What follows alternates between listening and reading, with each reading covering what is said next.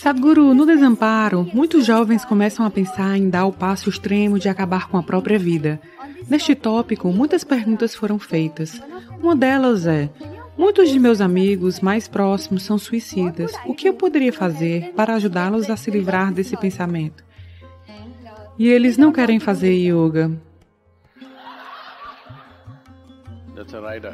Isso vai longe. Então, vamos responder pelo fim? Primeiro de tudo, o que é yoga?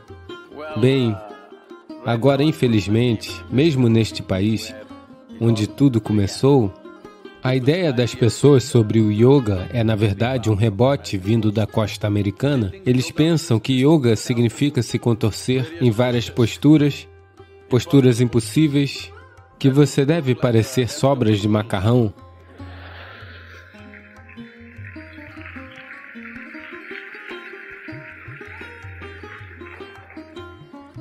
Não, eu quero que você entenda o que yoga significa. Yoga significa união. União significa. Veja, neste exato momento, você está aqui, você está respirando? Seu amigo também está respirando, você acha? Ok. Claro, você está comendo, está bebendo água. Existem muitos outros níveis de transações, mas pelo menos essas coisas bem físicas, você entende? Sem essa transação, você não pode existir, não é? Olá? Então, de certa forma, o que isto está lhe dizendo é que você é apenas uma pequena criatura, apenas um pequeno pop-up. Você tem pop-ups na tela do seu telefone que faz pop-up e pop-out. Neste planeta, você é apenas um pop-up e você vai pop-out. Sim. Então, você acha que há uma existência individual por si só? Não. Se você perder a conexão com a atmosfera ao seu redor, você morrerá, não é? Se você não comer ou beber, você morrerá? Não apenas isso. Cada célula, cada partícula subatômica neste corpo está em transação. Se a transação não acontecer, você não pode existir por um momento, mas psicologicamente você se coloca em tamanho casulo que você acha que é uma existência individual inteiramente por si só. Yoga significa que você conscientemente desfaz os limites de sua individualidade, porque se você não desfizer conscientemente os limites de sua individualidade, então, sem saber, sua vida passa a ser você versus universo. É muito. Você deve me ouvir nisso, você pode seguir meu conselho sobre isso. É uma péssima competição para entrar. Você versus universo, definitivamente você vai sentir vontade de morrer? Quando você enfrenta uma competição tão grande, não vale a pena viver? Será assim? Então, como as pessoas normalmente lidam com isso é se destruindo um pouco de forma inconsciente. Alguém cai de amores por outra pessoa. De repente, eles abrem um pouco os limites de sua individualidade para alguém. A expressão inglesa Cair de amores é uma boa expressão, porque algo de você tem que cair. Você não pode subir de amores, você não pode voar de amores, você não pode escalar de amores, você tem que cair de amores. Isso significa.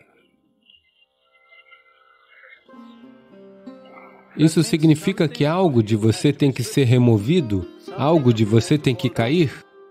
Você tem que abrir espaço para outra coisa. Um pouco de yoga inconsciente que você fez. Ele ainda não quer fazer yoga? Então, esse anseio de se tornar, de romper limites, se isso encontrar uma expressão física bem básica, chamamos isso de sexualidade. Se encontrar expressão emocional, chamamos de um caso de amor. Se encontrar uma expressão mental, será rotulada como ambição, conquista ou simplesmente compras. Se encontrar uma expressão consciente, chamamos de yoga. Em sua vida, o que você acha? O que quer que você faça na sua vida, é melhor fazer conscientemente ou inconscientemente? O que você acha? Conscientemente? Então, se você inconscientemente desfizer seus limites, entenderá que está construindo desnecessariamente uma estrutura psicológica na qual se sente preso. Se você desfizer conscientemente, é chamado de yoga. Se você desfizer fisicamente, é chamado de sexo. Se você desfizer emocionalmente, é chamado de amor. Se você tentar desfazer mentalmente, é chamado de realização, conquista, ambição, concretização, vitória, esse tipo de coisa. Mas todas essas coisas, quanto tempo elas duram? Momentaneamente, porque é inconsciente. Se você desfizer conscientemente os limites de sua individualidade, poderá se sentar aqui como o universo, com a mesma estabilidade? Agora, onde você quer morrer e ir? Porque tudo que não foi feito por você, você não tem o direito de destruir, não é mesmo? Você fez esta vida? Olá? Você fez esta vida? Você é capaz? Não. Então, como pode? Seu único problema é que sua estrutura mental se tornou uma bagunça? Você pode facilmente reorganizá-la? Eles devem fazer yoga.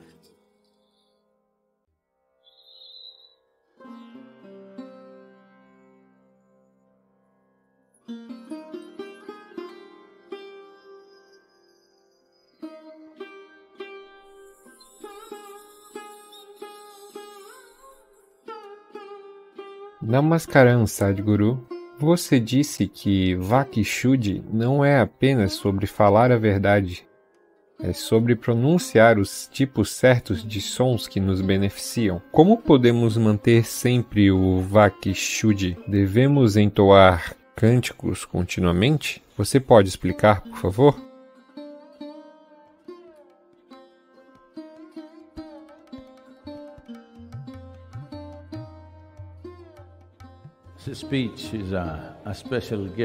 Veja, a fala é uma dádiva especial para o ser humano em termos da complexidade do que um ser humano pode proferir. Nenhuma outra criatura é capaz disso. Bem, um elefante pode trombetar mais alto do que nós. Pode fazer você ficar paralisado. Se ele vier e trombetar perto de você, ele o deixará paralisado só com um som? Um leão pode rugir? Pássaros podem fazer tantas coisas. Mas nenhuma criatura é capaz de se expressar com a complexidade com que podemos nos expressar. As línguas foram criadas conscientemente para que a simples pronúncia da língua purifique o sistema? A língua sânscrita foi criada assim. Então, a maioria de nós provavelmente está falando inglês na maior parte do tempo. De todas as.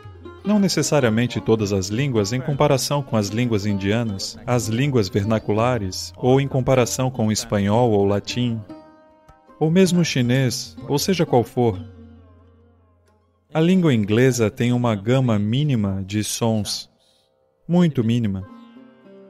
É por isso que, desde o seu nascimento, se você falar apenas o idioma inglês, você vai achar muito difícil pronunciar alguns mantras ou outros idiomas, porque você está usando uma gama muito mínima de expressões. Portanto, quanto mais minimalista for a gama de sons que você pronuncia, menos Vakshuri você tem. Portanto, agora você tem que corrigir isso com certa consciência ativa e convolição. Uma coisa é o som, outra coisa é a intenção do som. Você pode dizer ei com muito amor, ou pode dizer ei de outras formas. Agora, eles não produzirão o mesmo impacto no sistema, porque a volição da ação é importante, a maior parte do processo kármico está na volição, não na ação. Da mesma forma, a maior parte do karma está na volição, não no som. Mas, se os sons fossem estruturados cientificamente, como nos mantras e no sânscrito, então Mesmo se você pronunciar sem muita consciência, ainda assim você se beneficiaria simplesmente por causa da natureza do arranjo dos sons. Mas agora estamos falando de línguas que já não são feitas dessa forma. Portanto, é melhor lidar com isso usando a intenção. Acho que já falei sobre isso muitas vezes.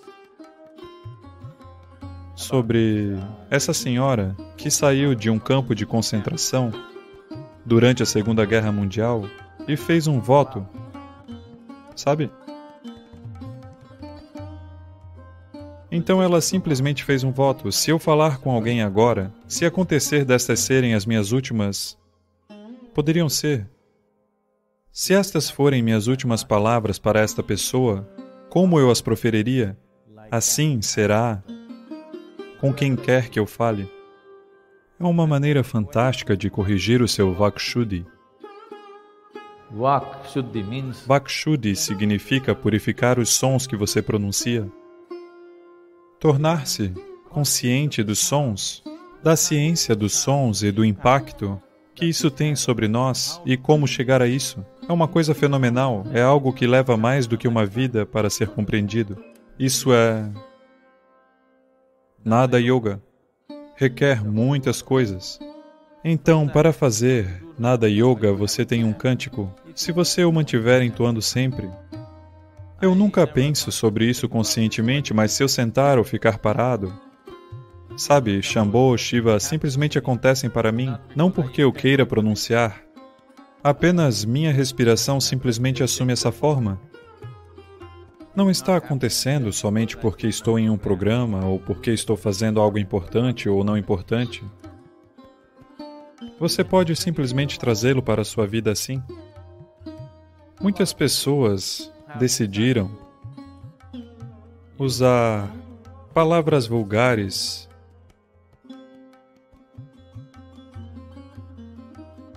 em suas conversas ou, hoje em dia, particularmente, vejo a juventude nos Estados Unidos